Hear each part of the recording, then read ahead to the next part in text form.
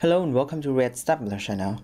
In this video, we'll be talking about Three.js, a JavaScript library and API that allows you to create a 3D or 2D graphic on your web page easily without having to deal directly with WebGL using just JavaScript, which will create an immersive web experience with cross-browser support.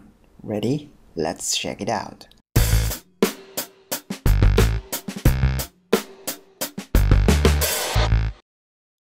Three.js is basically an abstract layer built on top of WebGL to make it easier to use. Everyone can just use their web browser without having to download any additional framework or application in order to experience 3D graphics. Here are some couple demos of Three.js implementation.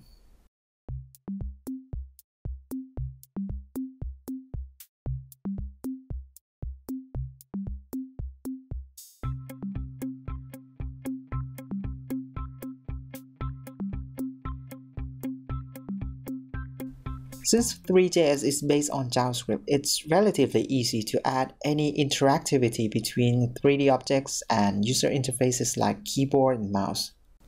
This makes Three.js perfectly suitable for making 3D games on web platform. Here are some examples.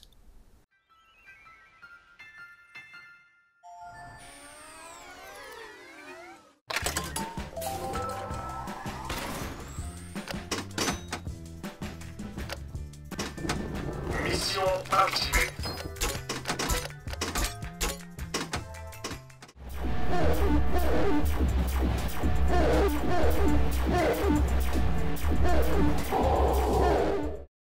To show you the ideas of fundamental steps to create and animating 3D objects with Three.js, here's the empty web page and we are going to add a spinning cube to it. Now let's download the latest version from GitHub and include it to your page using script tag. First, we will create a new scene, set up a camera angle and renderer, and append the element generated from the renderer to the HTML body. Then, we will create a geometry with equal width, height, and depth, and assign a material and color to it, then add the cube object to the scene. And finally, create an animation loop that increments the rotation around the x-axis.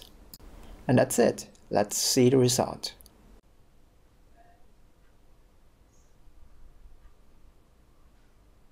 So that's all for the introduction. We'll go into details for each step in the next tutorial. As always, please feel free to subscribe to stay tuned or like this video to support us. Thanks for watching and see you in the next video. Bye.